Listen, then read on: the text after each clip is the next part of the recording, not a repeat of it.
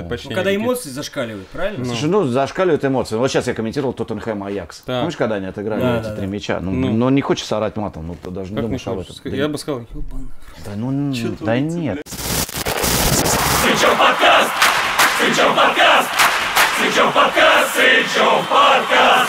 И Денис Казанский.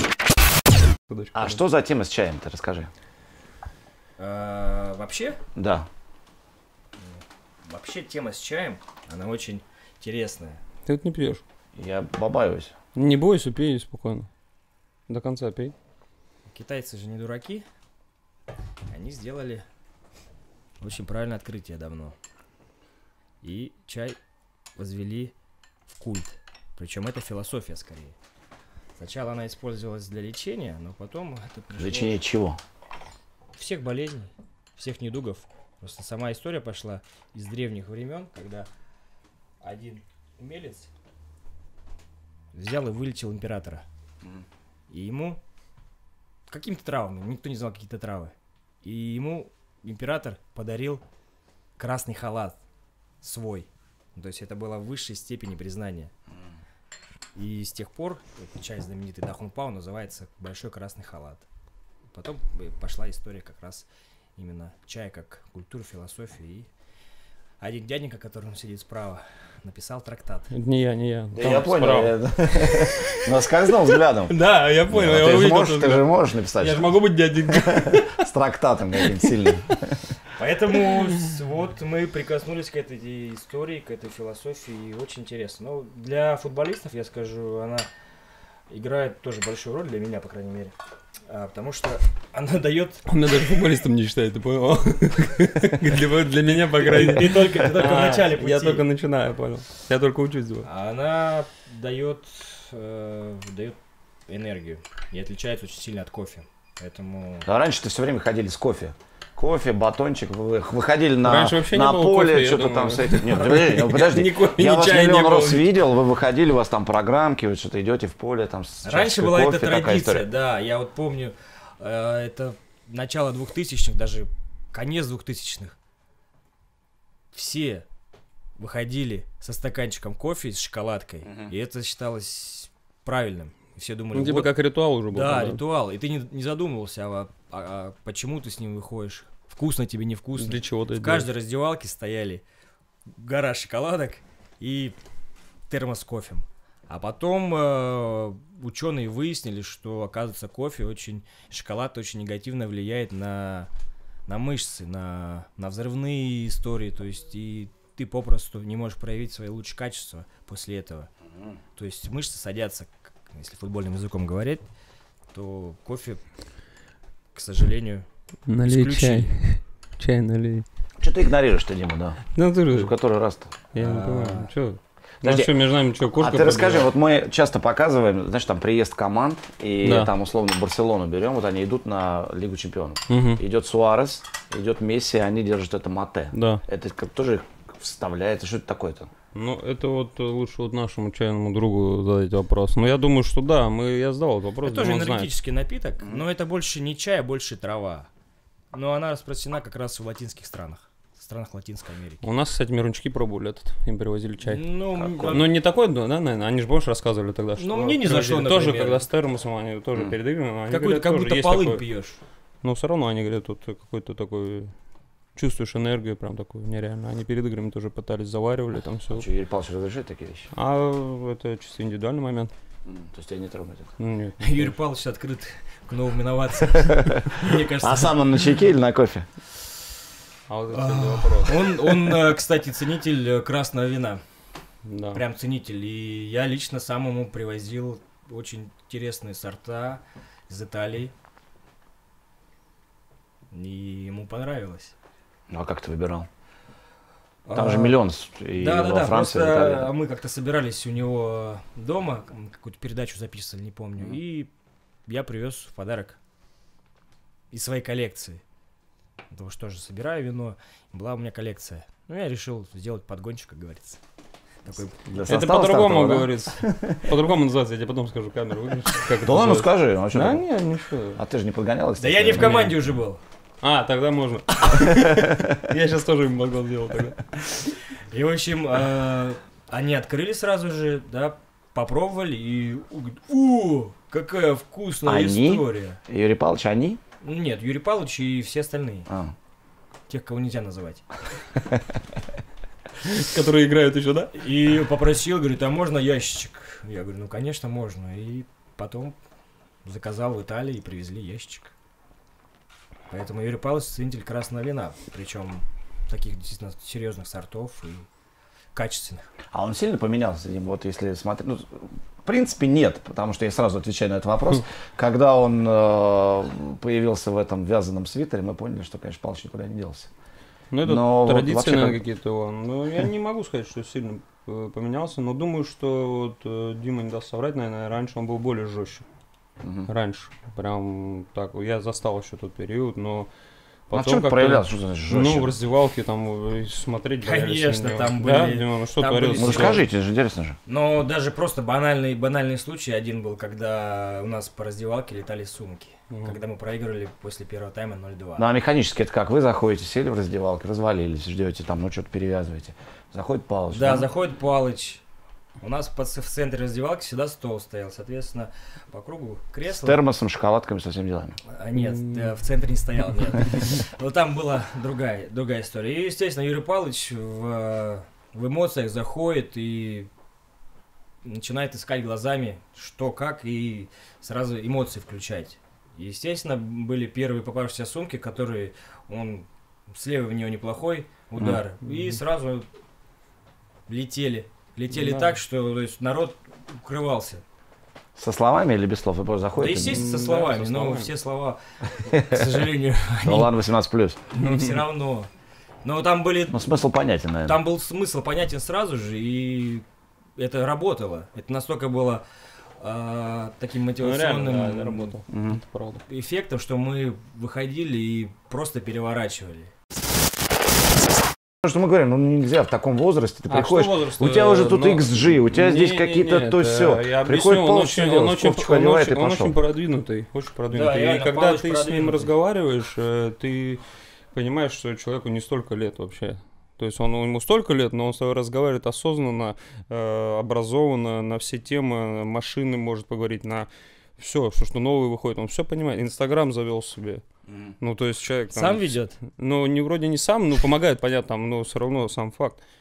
Вот, поэтому он очень продвинутый. Я думаю, пока у него э, вот этот светлый разум и все в сознании делает, а по-другому быть не может, раз есть результат, он будет еще тренировать очень долго. Дай бог ему здоровья. Слушай, а мы сейчас видели, знаешь, как это, как он Мурила представил команде, но это же горбыль настоящий. Видели? Я не видел. Да Вы что? Я просто два месяца уже не слежу за локомотивом. Сбор, я тебе расскажу. Сборы, идет тренировка. Что-то там-то, все, команда выстроилась, и Паш говорит, эй, Мурила, иди сюда. Это нормально. Все, это нормально, и на этом все. Это нормально. Не, но у него столько опыта, я считаю, что, мне кажется, сейчас действующий тренер не имеет такого опыта. Но иногда просто разговариваешь с ним и хочешь что-то сказать, а уже как бы идет такая фраза, там, мальчик, Да. где Мальчика ты... называют, да? Ну, нет, я утрирую, конечно же. Когда ты хочешь что-то сказать, он уже все это наперед знает. Конечно. Конечно. У меня были с ним тоже индивидуальные беседы. Да. Э, А, инди- а, слушай, а где они проходят? У него кабинет на базе? Индивидуальные Как- беседы? Да. Нет, у меня, ну, и в кабинете есть, конечно, на базе. У меня раза там за все время, наверное, я с ним ну, раз два-три максимум За разговаривал. 9 лет два раза? Да, два или три раза, сто процентов, не больше.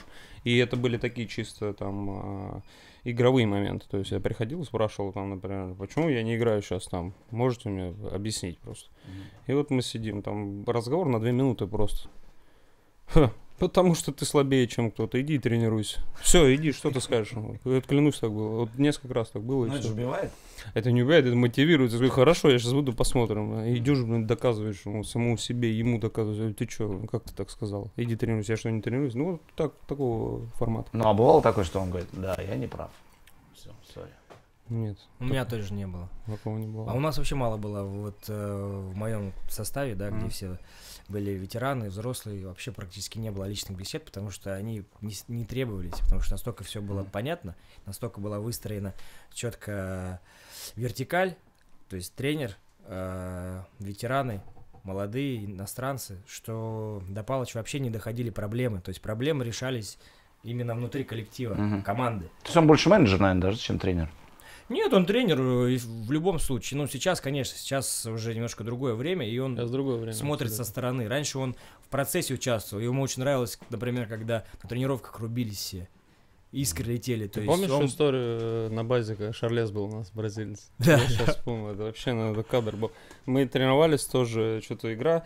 Шарлес, помнишь по Шарлесу? Ну, мы с ним раз, мы друг другу с ним недолюбливали. У нас обычно, ну, я молодой был, и горячий тоже, там раз, подкат второй, и мы с ним деремся, конечно, подрались. Нас разнимают, все, и Палыч орет, типа, вы что здесь, блядь, драться нельзя. Все, беги один в одну сторону, другой в другую. И мы бежим вот так по кругу в Баковке, и мы вот там встречаемся, и опять начинаем драться.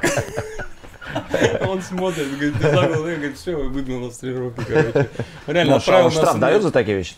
Да нет, э, мне кажется, он все равно э, от этого... Он понимает, что не безразличный, он не любит безразличных людей. А когда на тренировке есть такие моменты, когда люди не хотят проигрывать, там не уступают вплоть до драк, я думаю, что ему наоборот это как-то... Ну, не то, что нравится, это неправильно вообще такое, не должно быть, но он за это точно не штрафует. Ну, это значит коллектив живой. Ну да. Да, любом что случае. команда не умерла, они живут эмоциями, хотят каждый играть, там, доказывать, то есть э, это, это норма. Но за это не штрафуются, как бы. А я другую историю вспомнил тоже сейчас как раз про это. А, Тогда, когда еще в команде были ну, Асатиани, Ага. Иванович и Спахич. В общем, их поставили. Они дружили между собой просто. Вот тройка была, обнимаются, дружат, все. То есть не разлей вода. И какое-то упражнение. а, забегание в тройках, то есть центра поля. Ну, то есть один пас, друг- другой забегание, и Мгм. как бы достаточно. а, и Ну, друг- я сейчас и понял, третий- больше никто не понял это. Но И забегание и третий подает. Ну, нужно пробежать прям достаточное количество метров, чтобы подать. То есть работа такая приличная. И у них раз, э, в общем, они дают Малхазу, как говорится у нас, на вырос. То есть он не успевает туда. Прям Мгм. раз, второй раз он говорит, дай точнее. Ну, там, естественно, мат-перемат был Мгм. чуть-чуть. И, в общем, я они просто специально- жду, когда ты матом скажешь слово. Хотя бы одно. Я, Ну, я- я него запомнил. бок- Он, бок ты смотри, там какой. был какой-то мат такой, Жёсткий. аккуратно разговаривал. И, в общем, они раз э, у них не получилось упражнение, то есть они ему дают специально в аут туда, чтобы он пробежал эти там в 70-80 метров и не подал. То есть, когда они забегают, они друг другу аккуратно Да. давали, и все хорошо получилось. И он им раз сказал, ну, Малхас эмоциональный очень, второй раз сказал. И, в общем, он их со- собрал, ну, там, там нужно, конечно, говорить там с матом, он их собрал за шкирку двоих, говорит, Я представляю, что он ну, говорит. как грузины говорят, да? И, в общем, ну, и Ну как практически- грузин говорят, ничего не понятно, что он сказал? Я твою, Ага, вот так вот, да. вас обоих.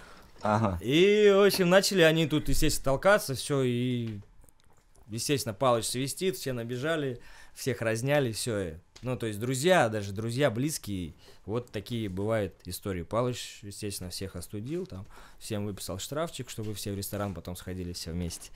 И, Это как? ну как, в кассу отдаешь клубу. Казна есть у нас. Так. Один э, в команде отвечает за штрафы. Ему все там, если он считает, что нужно штрафовать, он говорит, там, все, 100 евро занеси. Заносит один человек, все считает, складывает, складывает, складывает. В итоге, когда идет какое-то мероприятие командное, эти деньги приносят и в счет там. Ну, не Да. только командные, там, например, там какие-то проблемы там у там э, обслуживающего персонала на базе, например, да, там. Ну, собрать бывают. денежки там кому-то Да, нужно. То есть ситуации эти там. деньги все идут вот на эти вещи. А кто бухгалтером у вас был? Ну, чаще всего самый опытный. Ну, чаще всего, я помню, вот, э, что за кассу отвечал Вадим Евсеев. И я даже какое-то время отвечал за кассу. А это как по наследству передается? Нет, я Поэтому я квартиру ухожу. купил в Москве. Это вот я о чем и спрашиваю, да. И сейф неплохо-то. Не, а у него у- просто не забалуешь. Если кто-то задерживал, там начислялись проценты. То есть ты уже там не 100 евро, а 200, конечно. Ну, то есть ты оштрафован. То это, нет, подожди, это, это и остается это, или только Евсеевская штука была с процентами? Не, только его, наверное, штука. У нас вообще могли сейчас это сказать, слышь, отдам, когда захочу. То есть, ну да, ну э, по- поэтому я говорю, что то поколение чуть другое. Там уважали старших, там э, ну, вот эти всякие традиции, там, учит, уважали, там, и чтили, знаешь. А сейчас чуть другое поколение. Молодежь такая сейчас растет, что нужно объяснять чуть по-другому. Ну, Сулейманов тебе не пихнул бы никогда. Ну, не было случая, наверное, не знаю. То есть, но... те- ну, условно, условно. Но у, на- у нас были там э, такие моменты, когда я видел, что там те же мирончики могут там ответить, там, знаешь, но я в, тако- в таком возрасте не смог бы себе позволить, там, допустим, Димону Конечно. сказать, типа, слышь, я сам разберусь, бежать мне или нет. То есть такого не, точно не было. А про, а, про, а про массажную комнату, это вообще все смеются над этим, но это реально так, я пришел, я один раз зашел, так посмотрел, кто там лежит, и ушел, и больше не приходил, хотя у меня все болело там тоже, знаешь, хотелось массаж сделать, там это, но все, я больше не приходил. И когда это сейчас расскажешь, они, да чего там, да что Так, ничего, давай расшифровывай, ничего не Ну понятно. что, То есть ты заходишь, В массажную комнату смотрю, кто там лежит поименно. Взрослые игроки опытные, которых я по телевизору смотрел. ну, Васьков там лежит, да? Да. И все, я вышел, и все. То есть там как я приду и скажу, можно я после Лоскова массаж сделать? Для меня это было неприемлемо. Ну, Почему это- это нормально, ты же восстанавливаешься. Нет, это ненормально. Это для тебя нормально. А так не, ненормально. Это неправильно. Я вообще не говорю, Димон? Ну, Ну, я так- не очень понимаю, это, это, конечно, у по тебя же понятиям было красиво, абсолютно, да. абсолютно правильная, да, история. И... Не, хорошо. Есть такой, помнишь, Беляев? Да, Он сейчас играет. Он же у нас был. да. И вот, его как-то взяли на эту, на... Ты помнишь эту историю с Да, да. Ну, вот, его взяли на Это сбор. он такой чудной, если Ну, честно. он, не, он нормальный парень, но такой, как Нормальный парень, бы, да, то, ну, то, то, что думает, то и говорит. С прибамбасами, как Да. говорится. И заходит он в массажик кабинет, там лежат, там я был тот, это я слышал, прям все ребята опытные лежат, взрослые такие. И он заходит, у нас такой массажист есть, его Шаман зовут, короче, ну, так, его так кличет, короче, у нас. Вот. И он говорит, Шама, и корки тирани забились, знаешь. И ты представляешь, глаза у ребят вот этих старших, и я такой думаю, что он говорит? И корки тирани забили, ты понимаешь? Как такое? А ему там вообще было, я не знаю, наверное, 16 лет, что ли. Вот. То есть это такая, такой момент тонкий. У меня здесь. история была вообще в... Ну, я тогда просто пришел в Спартак вообще сырым, то есть не понимал, что Куда, куда? происходит. И, в общем, после какой-то, после какой-то игры, ну, на массаж лег. Ну, я не буду называть имен-то, потому что... А назови нам букву Не- какую Да, да, да, Ну, это интересно, реально. Ну, в общем, Ну, лежу- фамилия на какую букву он? Лежу, массируюсь, э, спокойненько все, и заходит На бу- ветеран, уверенный. Да, Ну и... кто, ну скажи, Что у тебя интересно. все иксы, да, одни. Давай ты- что-нибудь. Ну и... Ну, Беляев все прибили, с Икоркой Чё, теперь уже не отпустим, да. всех. Володя Бесчастных. Ну, Хоккеист. И он мне говорит, мальчик, до 25 лет, чтобы сюда не заходил вообще на массажный стол. да. Ну. Я да. домассировался и учел это и понял. Я не понимаю, если честно, потому что с точки зрения, опять же, понятий какой-нибудь условно дедовщины, может быть, это правильно, но с точки зрения профессионализма, тоже ну, человек готовится. Ну, нет, ладно, действительно, в 16 пришел, на сборах чудит. Но во время там сезона. Ну, хрен знает, почему- мы же, мы же сейчас вот э, то же самое возьми, ты говоришь, а, армия, мы же не можем объяснить, почему так происходит в армиях там или происходило. Ну, когда- погода Ну, ну, ну, сейчас, да, а раньше. Мы же тоже, я тоже так, многие не согласны, но у них есть правила какие-то, и все, ты их должен э, выполнять. Ну, это же идет все дело на кому. Ну, я вот условно, не знаю, там зайдет Решфорд Не, в раздевалку, и лежит Видич. Он Не. скажет, Видич, что вы раз- раз- скажет, все, вали отсюда. Не, ну, Ну, есть, так это, же конечно, неправильно. это такие крайности. Мы говорим про крайности. Ну, просто другие крайности тоже не должны быть. Когда молодой Ну, то есть не, не может слушает- такого быть, что я лежу молодой, там пришел, там, я в 17 лет, я массируюсь, заходит э, какой-то опытный игрок, смотрит, а у него даже нету места там помассироваться, и лежит это, это. Для них это нет. Значит, ищи время, когда там все спят, когда э, спроси, чтобы все отмассировались э, сначала старшие, потом приходи. То есть вот так надо искать. А ты вообще так объяснил, это вообще чистое менторство получается. То есть ты ведешь человека. Ты Миручукам что-то такое говорил вообще вот из этого состава локомотива? Так Ну, я, я их выделю одних из э, таких людей, которые с пониманием относятся и с уважением ко всем этим э, традициям, и они очень воспитанные ребята по жизни и по отношению к команде, по отношению к своей работе, по отношению к старшим. Ну, это реально так. Я не, то, не из-за того, что с ними дружу, но это реально я это ви- видел, и поэтому вот так мы близко с ними и сошлись. А они вот, как, знаешь, как заходят вы, вы, на вы, или все сразу? Ну и было такого, да? когда там первое время там такие очень скромные были, очень. Наоборот, я тогда их подбадривал, что давайте, так, давайте, не, не тушуйтесь, надо, надо, надо. Вот, и вот что имеем. Мое воспитание тоже чуть есть. Я, Ну, как бы, разумеется, чуть-чуть об этом там, речь. а, какая-то доля есть. Но это не пустые слова про, про раздевалку. Вот в хоккее это есть, да, очень актуально. Но почему-то в футболе нет, но это большое значение имеет, абсолютно, я вот с Димой согласен.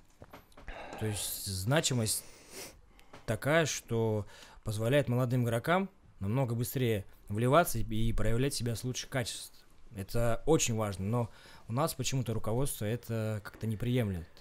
И- Расшифруй. То есть нужен в команде, чтобы был человек, который ставит всех на свои места, пусть даже он не играет в футбол. Не, он играет в футбол в любом случае. То есть, э, как бы играть в футбол это основное. Но и качество характера они определяют очень много. И в раздевалке нужен такой человек всегда. И Если их несколько, еще лучше. То есть у тебя здоровый коллектив. А ты видишь команды сейчас в российской лиге, в которых таких людей нет? Ну, Которых нет? Да. Ну вот этих людей просто, вот о чем вы говорите, просто таких наставников, которые раздевалку не ведут за собой.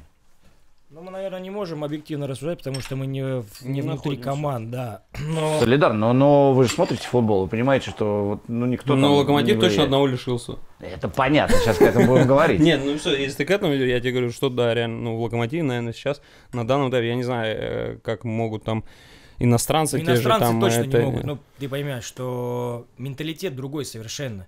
И, например, русский игрок... Ты расскажи не будет- историю с иностранцем, которая у нас была, после чего мы начали дружить вот, с ним на Лиге Европы, это же было, да, по-моему, когда мы, с... я не помню, с кем мы играли. Мы играли как-то с Лозанной, с кем. Я Лозанной. Первый тайм, э, смотрю, он идет, Сурдолф конфликтует прям ну, Ну, общем, за- что-то, да, да, да, там игре кипиш. и... А мне того, я говорю, мне там посадили, реально там лет-то так, я только ну, пришел там, знаешь, там год, я не знаю, сколько я был. Ну и все.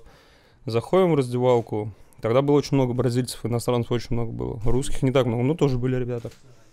Ну и все, они начинают с Рудолфа просто встают там и Драка. Он Да. же выше тебя на две головы. ну, какая, разница, дол? Ну и все, я смотрю, эти подлетают все. И я подлетел. Единственный, кто встал за Димон, это я. И мы так немножко тоже получили с ним так по щам. Перерыве? Да, и потом перерыве, Палыч да. зашел, всех раскидал, короче, в разные стороны. Всем сидеть там. Но я просто вспомнил этот момент, потому что это, это вот э, тема касаемая того, что есть там иностранцы, есть русские, вот э, тогда э, единственный, кто встал и тоже получил, я. И не, ну, А почему так? Мы же потом анализировали. Почему это не встал, А, это не встал, что такое? Ну, что- а ты не анализируешь эти вещи. Зачем это тебе идешь дальше. Есть всё. факты, есть как бы Ты мужская делаешь история, вот э, выводы идешь дальше. Как сыграли?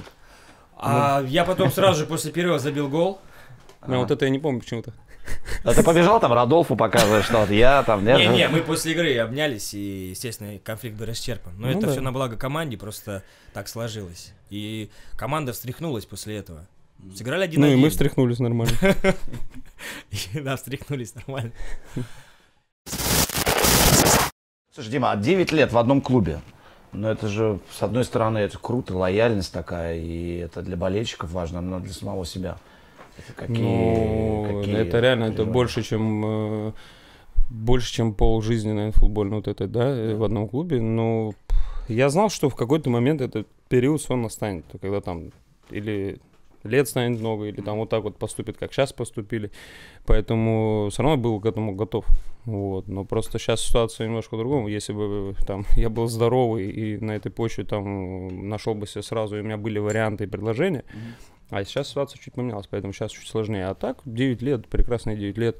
К Локомотиву вообще никаких претензий у меня нету. Есть претензии и не до понимания с нынешним руководством, именно с генеральным директором.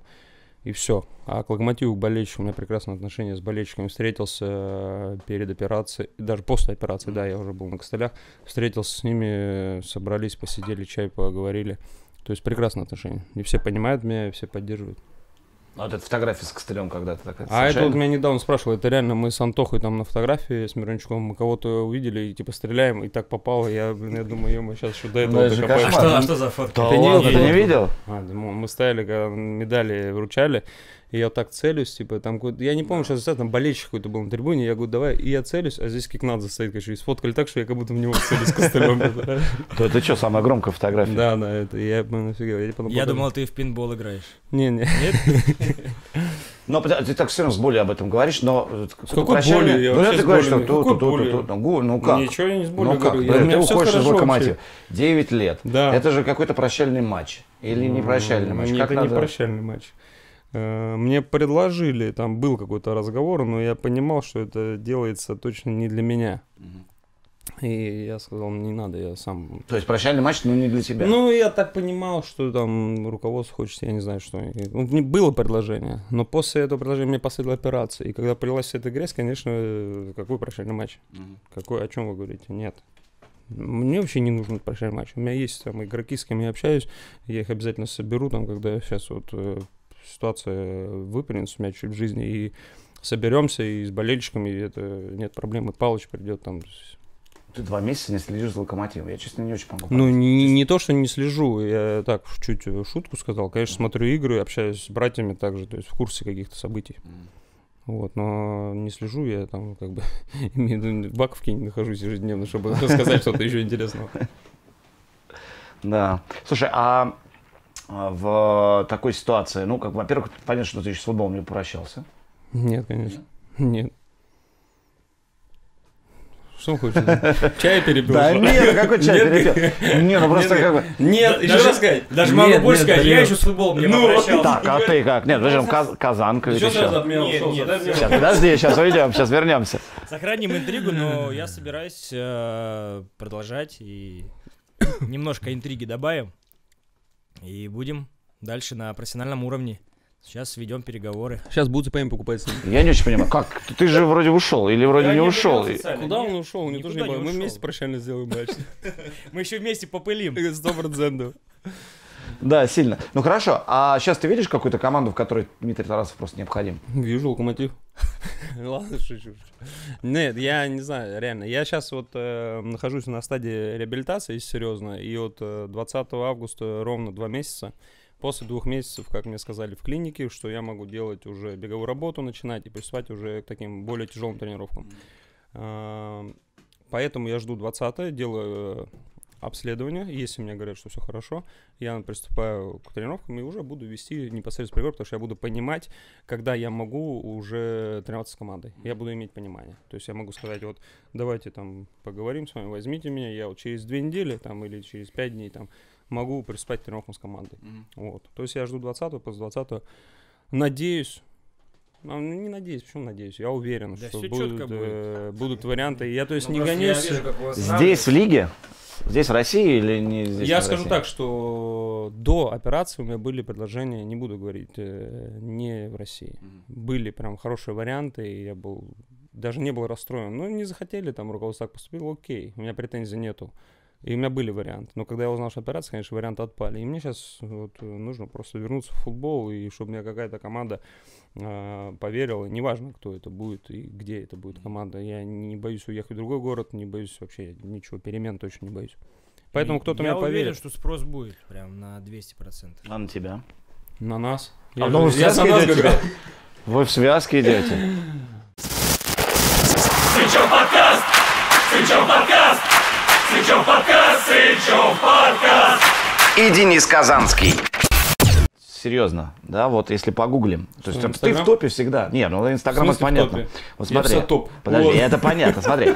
Я говорю, по новостям, да, вот люди, сейчас я вот смотри. Ну, ладно. что ты наша грязь Дмитрий, да подожди, нет, все будет нормально. Дмитрий Сычев, Google, да, новости, смотрим просто. Вот А за, за, да не будет все нормально. За месяц Да. проведет тренировку для юных тульских футболистов. Для юных. Прокомментирует юношеский матч Чертанова. Прокомментировал, уже больше не ходи. Прокомментирует. Да, ужас, ты слышал? Нет, он комментировал, что проиграли, бля. Ну смотри, ну скукотище. Ну скукотище. Подожди, вот смотри, меняем. Дмитрия оставляем. Дмитрий Тарасов. Пошла, Да, да подожди. Я тебе хочешь ну, перечислить? да Даже подожди, не давай, давай, давай, давай, перечисляй. Давай, давай, первое. Закрыл алименты. Так, подожди, подожди, я Ну нажму. Ну, если я- не я- будет это в списке там За пяти месяц, вот поехали, статей. давай, да. Закрыл алименты. Первая новость. Вот серьезно. Покажи. Вот, пожалуйста. Погасил задолженность. Че, я все знаю. Первое, я второе, не захожу. второе, второе, Так он сам просто эти новости размещает. Да, не гони. Вторая Вторая. новость, вторая Да. новость. э, Будет судиться с локомотивом. Нет. Блин, намекни. Ну нет, ну Про что- личную жизнь или футбольную? Про личную. Про личную? Да. Ой, я- Ну она такая личная, публичная. Публичная? Не знаю тогда. Ладно. На! Дмитрий Тарасов пришел в храм в куртке со оскорбительной надписью. И что? Расскажи. Шквал критики в свой адрес. Ты А знаешь, я об даже этом? об этом не знал. Ну, смотри, да, в последнее время сначала в Италию на операцию, гнев общественности. Все из-за невинной, на первый Есть взгляд, публикации в микроблоге в Инстаграм. Да. Черно-белый кадр, на котором не видно лица спортсмена. Да. Дмитрий подписал следующим образом. Михей 78, не радуйся ради меня, неприятельница моя. Да. Однако пользователи соцсетей возмутились тем, в каком виде Тарасов зашел в храм. Поклонники обратили внимание на куртку Дмитрия, на которой была непристойная надпись, а именно Rich S. Да. И? Более того, некоторые фолловеры посоветовали ему подтянуть штаны. Я объясню одну вещь. Если я, заходя в храм, в любой, причем вот сейчас даже можем э, эксперимент сделать, зайду в храм и не вижу там человека, который одет так, как нужно, то я могу столько фотографий выложить, когда люди заходят бухие в храм, обдолбанные в храм. Но человек зашел в храм, и он пришел там помолиться, не знаю, попросить что-то. А зачем ты фотографию каком, вообще э, размещаешь тогда? Не важно в каком виде, но потому что у меня были, и я пытался донести какую-то свою, э, свои мысли и выложил, и в этом ничего такого нету. Я не вижу, а в каком виде я, я в шортах один раз захожу, потому что было уже жарко, я иду и понимаю, что в шортах, ну, некрасиво как раз. И у бабушки спрашиваю, бабушка, как вы думаете, если я вот зайду, что будет? Она говорит, сынок, хорошо, что ты вообще пришел сюда. Мгм. Ты молодец, иди. И вот она меня пропустила, потому что я знаю, что бабушки в храмах очень такие агрессивные бывают. Это правда. Да, и поэтому я вот спросил сначала, и все. А в какой разнице, в каком виде зашел? Я пришел помолиться. А зачем тогда фотографируешься? ну, мне нужно было донести, вот э, есть какие-то моменты, когда люди вот не хотят говорить прямо человеку в глаза, они начинают войну какую-то такую вот. э, Из-под тишка? ну да, типа, вот думай, кому ты это что адресовал. Ну, типа такого. То есть это Поэтому послание. это послание было, да, там. А знаешь еще одна новость, это вообще Давай. потрясла меня Давай. просто. И причем это написал Пятый канал, Это что такое? федеральный Пятый канал в Питере А, вещать. всё. Жена Дмитрия Тарасова Какая? надела платье за 890 рублей. Что? Что, что? Ну, реально? Жена... знаешь? Ну, я вот я Google новости, я Google не ищу. Дмитрий Тарасов. Google за последнее. Фото жены Дмитрия Тара- Тарасова в платье раскритиковали в сети. Так, пока ты на травме, Анастасия Костенко вынуждена экономить, пока спортсмен не работает. Конечно, но это будет сейчас... Пользователи раскритиковали ее наряд, купленный в бюджетном сетевом магазине. Фотографии, на которой в Инстаграме Костенко вместе с Тарасовым, маленькой дочерью. Ну. Ну, подожди, она ее так пишет. Ну, давай правильно назовем. Ну, Тарасова она. Ну, Тарасова, ну, хорошо. Как отметили пользователи, сейчас стоит оно 890 Вопрос рублей. Вопрос в том, что ты кругом, Мгм. но не по футбольным причинам. Да. Потому что сейчас у меня паузу. Это нормально? Ну, Вот смотри, смотри, у Сычева какой образ. Да. По- поговор- это, потренирует детей, прокомментирует Ну, у юношей. всех разный обрз. Мгм. Ну, все же понимают, откуда у меня образ пошел. И Разумеется. за тем, что за мной э, следят пристально, э, на ком я женился, как у меня сейчас все хорошо, они все следят, куда я иду, в церковь, я не знаю. Если бы я не сфоткал в церковь, меня бы сфоткали в церковь, неважно.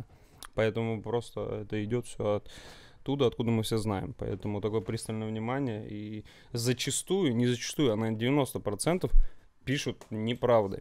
И поэтому это, как все многие думают, влияет на мою репутацию, на мое окружение в футболе. Люди начинают строить какие-то свои мнения обо мне. То есть, что мне не интересен футбол, наверное, там, ему интересна вот эта вот вся херня. Но это абсолютно не так, а переубеждать я не хочу, потому что люди э, реально вот то, что ты прочитал, там, вот, начинают обсуждать, да, начинают меня как-то полоскать, что я якобы там что-то я не могу. Но у нас сейчас все устраивает, у нас все хорошо, и я не считаю нужным кому-то что-то э, доказывать и оправдывать. Я сейчас разверну эту тему, потому что очень простая история. Вы приходите подписывать вместе контракт с футбольным клубом Сочи условным, да, и Почему условно? Ну, Ну, ну же вы не из «Зенита», вот поэтому как- кто вас там ждет-то? А, и руководство смотрит, и, слушайте, ну от без соцсетей никуда уже. И они, и они видят репута- Ну, они репутация же не по- Сычева. они же не по и они они думают, же не по «Ус- а, выбирают футболиста». нет, нет, это совершенно верно, но это тоже учитывается теперь. Ну, сто процентов учится. И они видят, что да, в любом профессиональном клубе Ну, нормально. Я бы не согласился. Нет? Но если ты какой-то а, хулиган, еще что-то, ну да, ну прежде всего тебя выбирают только по игровым качествам. Да, ну ты Нет, тоже ты приходишь... виду, типа скандальный или не скандальный? Ну, в том ты, вот ты же сам Имидж сказал клуба, про это, что ты же сам сказал про то, что вот они думают так, что я вообще не о футболе, Да. я больше вот в Ну, шоу-бизе. люди-то знающие меня, и футбольные люди, которые были с вами в Локомотиве, в команде, они-то знают все Ну, то есть ты не считаешь, что вот это все может повредить написа- подписанию контракта и дальнейшему? Я думаю, нет, а как это может повредить? Смотрите Ну. мои игры, смотрите, встречайтесь, общайтесь, и все. Нет. Ну, я согласен тоже абсолютно, потому что соцсети такая необъективная, так мягко скажем, вещь, по которой нельзя судить человека, и ты просто не видишь на другом конце, а, кто это, что это говорит. Правда это неправда, это может кто-то специально делать, то есть это не- не имеет никакого отношения с настоящим положением дел, и мне кажется, это там полнейший бред оценивать человека по его соцсетям. Потому что уже давно доказано, что это все не настоящее. А когда ты общаешься с человеком лично и видишь Не, личные его я- дела, м- я- я- он правильно все сказал, но не то, что не настоящее. Э, Там непосредственно есть не настоящие люди. А есть люди абсолютно нормальная, адекватная аудитория, которые общаются, которые что-то узнают, которые, блин, я вступаю там, в переписку, которые спрашивают меня про травмы, которые э, пишут мне, а как вот мне здесь поступить, а помоги мне. То есть я много помогаю. Об этом никто не говорит. Да я не хочу. А зачем? Зачем? я Поэтому не здесь знаю, как такая ты история. выдерживаешь все вот этот весь этот Иммунитет. натиск. Иммунитет. Конечно, я просто в один прекрасный момент, это было очень давно, понял, что кому что доказывать, зачем. Пишите. Пишите. А одно время вообще ходили про меня, что я голубой, блин. Только по-другому было слово пидорас, я честно говорю. Постоянно начали это писать. И что мне надо было сделать? Скажи, представь, вот мое состояние. Я такой думаю, что? И вот начинает это, и это один написал, какой-то там дурак компьютерный, знаешь, и это люди подхватили и начали еще статьи на эту тему выпускать. И как мне надо было? И я, я никак, я сказал, вот после этого я понял, что э, о чем вы, ребята. И все, я ушел, и все, и тема исчезла.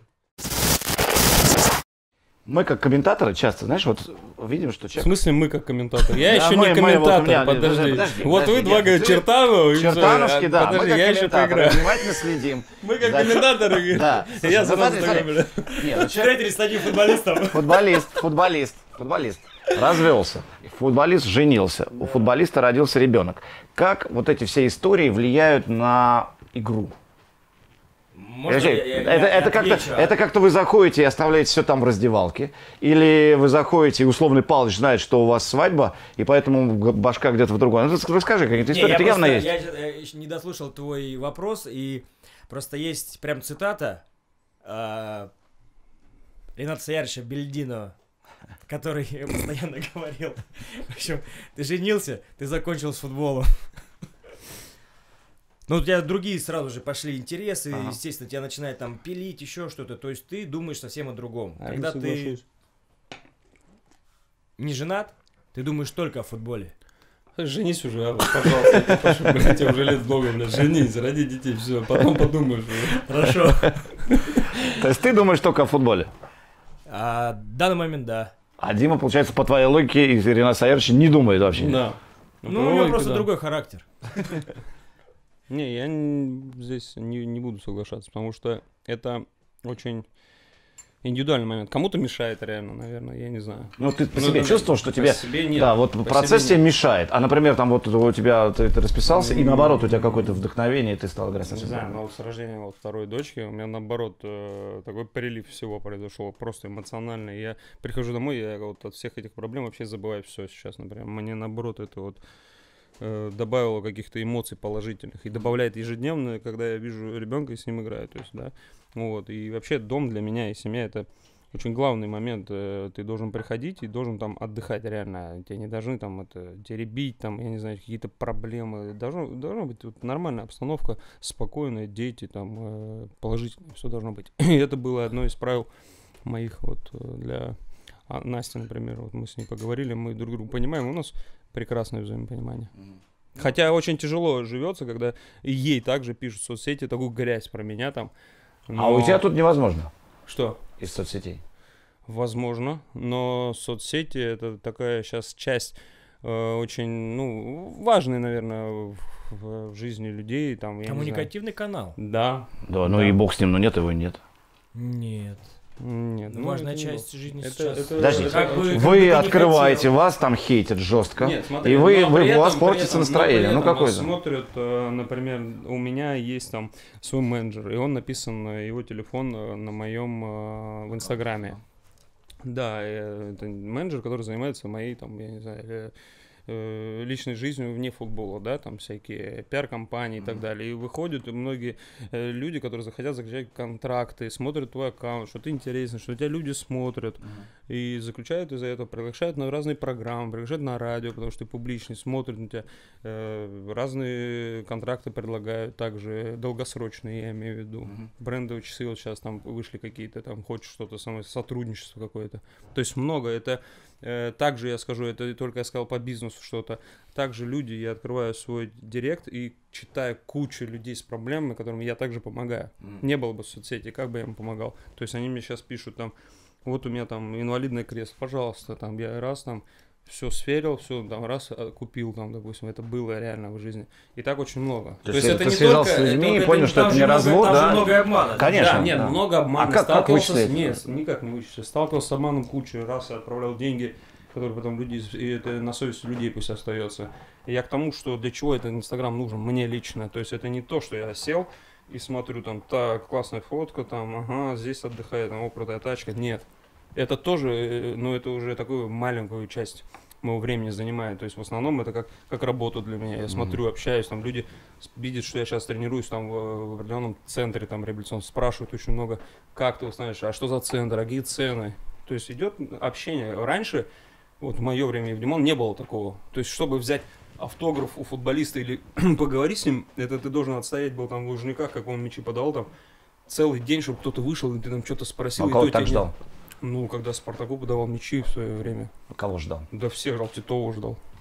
Оленичу, всех. И в спартакском манеже, когда они тренировались, я там просто, я не знаю, там э, сидел там под окнами, чтобы просто посмотреть. А сейчас прямой доступ, у тебя есть футболист, общайся, есть... э, Ну, это же другой. не футболист. Это же как второе я в соцсетях. Это же не как ты. понять, не я. Ну, это же два разных человека. Причем вторая жизнь у тебя живет в отличие от тебя. В отрыве. Ты же сам говоришь, что там есть настоящий, есть не настоящий. Он И чай в соцсетях... Нет, ну почему? Ну, это... я, я не согласен. Ну, потому что он живет уже своей жизнью. На самом деле, опять же, вот человек, который живет в соцсети и в Инстаграме, да, он уже бессмертный. Потому что мы, мы умрем, а соцсети никуда не денется, они останутся там. Ну, И это уже какая-то другая личность получается. Очень глубоко смотрит. Но почему? На самом деле так и есть. Ну, а почему второй И, я? и, не, и вопрос, и вопрос опять же в том, что смотри, с тобой за, за- Ну, завтра ты мне напишешь в соцсети, я тебе что-то отвечу, ты поймешь, да нет, это не Дима мне А отвечает. может а и не Дима отвечает. Да? Тем более, что соцсети иногда ведут другие люди. У тебя ты сам ведешь? Да, я свой сам веду. Хочешь покажу? А ты? Тоже сам. Потому что есть менеджер, который ведут все это я дело. сам. Не, ну менеджеру это надо довериться, там какие-то коды для чего, ну нет. Бред. У тебя были какие-нибудь истории интересные из соцсетей? Да, были даже, наверное, а, В всех Нардо со- проиграл по своим, ты расскажешь, что у тебя вот тебе Как? интер- интересная Ну, мы история. В онлайне? играть, а, Играть в нарды, да. Онлайн нарды. Ну, типа того. И Да кто никак про- онлайн, кто онлайн, проигрывает, тот публично признается, что он лузер и проиграл. Публично это как? Чтобы Ну, вот как раз как соцсеть засунуть. да. У тебя есть Инстаграм, серьезно, я уже не могу Есть у меня. Инстаграм, И есть. как ты его ведешь? Расскажи, давай я тебе Да вопрос нет, поставлю. подожди, Дай я- я сколько я не так- я не так, Серьезно, он- я не он так. Никого не понимает, Я ничего, не или так веду, не как вы. Нет, ну подождите, у меня это немножко тоже для другого все это Ну для чего? Тебе вот для чего? Расскажи, вот я тебе вопрос. Можно позадать сейчас? Да, давай, давай, давай. Для чего тебе Инстаграм? Расскажи, пожалуйста. Так как для фидбэка. Так, Для а, фидбэка, потому что часто после матча люди пишут и говорят, что что-то несешь, Да. кретин. Или наоборот И говорят, как ты как же Как ты с этим справляешься? сразу такой в негатив? бан? В бан, да, Немедленно. То просто? есть ты даже не вступаешь в дискуссию? Никогда. Серьезно? Конечно, нет. А может Вот это конструктивная Нет. критика? Конструктивную я начинаю общаться. Ну, потому что ты видишь, когда тебе Хорошо, пишут... а сколько у у тебя тебя не могут, подписчиков? у тебя не могут тысяч сем- 16-17. 16 тысяч. Нет, ну это нормально. Ну, это 16 нормально. Ну, они- А что ты выставляешь? Если Я они просто не накручены, это нормально. А? Да. Не, не накручено, что куда не А что ты выставляешь вот в соцсети? Соцсети Я, вот- а ты выставляю. можешь сейчас открыть этот Да, вопрос? конечно. Покажи мне, мне просто Давай, интересно. давай без реально. проблем, смотри. Я просто подписан, поэтому я смотрю. Я не подписан. Ну сейчас Ты просто подпишусь. не играешь? А, ну да. Да, да, да. Вот смотри. Так, давай. Поехали. Вот я Малкома вы- выставил. Вот для чего что. ты, бро, объясни, для чего ты Потому что у Малкольма? меня Да. есть доступ вот сюда, и я понимаю, что огромное количество людей его никогда не видели в жизни. Так. И вот я посмотрю, какие ножища. Ну, это Ты смотришь на ножищ Малком. Ну, Я такого не видел. Потому что там Окей. выходят все футболисты Роберто Зенита, там Карлос. такого нет. ага. ну хожу дальше. Вот, Дальше смотри. Это Ереван. Пюник Вулверхэмптон. что. Мгм. 4-0. И что, а, это ирландская команда? Да. Хорошая? Ну, как тебе сказать, хорошая. Ну, Она... нормально играли, я просто не смотрел. Не, ну там 4-0, там вообще Без без, шансов? Ну там Вулвар другая тема. Вот мы в Ереване пошли с Нобелем в джазовый клуб. Очень красиво. Левон Малхасян. Это я намекаю, что, ребят, если приезжаете в Ереван, то обязательно сходите и послушайте джаз. Очень круто. Понял. Все, вот Ну, и Ереван, вот- и- Ереван. и- и вот, что? пла- вот мы Ну. с пловцом пошли, видишь, это Да. знаменитый парень, который только что выиграл, выиграл чемпионат мира, и это же просто зверь. А ты можешь удалить сейчас Инстаграм? Нет. Почему? Ну это же ты второй, ты там. Совершенно верно. для чего? Совершенно ну, верно. Зачем? Удали себя со- второго, будь совершенно- собой просто. Не, подожди, но тут вопрос не в этом. Вопрос в том, что тебя там мочат в соцсетях, ты говоришь о Да том, и что это влияет на твое настроение. На мое настроение я такого не говорил. Как я сказал, я вообще... Ну, то есть, я- когда тебе пишут плохо, на все, Он вообще не, он, он, он Я даже не читаю комментарии. Я удивляюсь тоже. Я бы с ума сошел, если бы ему... и я бы с ума я сошел. один раз Ну, прочитал его комментарий, Представь, если бы я э, реагировал на это, я бы уже не жил. Если бы я на это замораю, я бы уже запрыгнул с окна, наверное. Ты представь. И ну вот, а я живу и радуюсь жизни, мне чем поливать. Вот мы с Димоном мы тоже, он мне задал пару раз. Ну, Димон там все хорошо, он там на льду, он там так, Представляешь, каком, вся. в каком он дзене находится? Я не понимаю, как это я можно. вот так просто сажусь и все, и мне пофигу, что происходит. Я вообще не понимаю. А сейчас вообще мне пофиг. Ну, наливай еще. Дай нам пятерку лучших игроков, с которыми ты когда-нибудь пересекался. Пятерку лучших Ну, игроков. прям, да, по, по позициям. С вратаря, по защитника, полу, нападающего, Пятерку полу лучше. нападающего. Пятерку лучше. Пятерку? Да. А почему пятерку тогда? Ну, как так правило. Не, ну хочешь больше. Да, больше. Давай вообще команду составим. Ну, команду, команда, кто-то обидится, много игроков хороших, реально. Ну не девочки, что обидеться? Да? Ну, это твое мнение, а что? Ну, обидеться? не, никто ж обидится, ну просто я бы там не, Ну, не мог, допустим, э, считаешь, разделить сильнее, кого-то там, не знаю. Ну, поехали, вратарь. Вратарь, ну я бы выйд... я, не- я не играл, но вот Овчинников, наверное.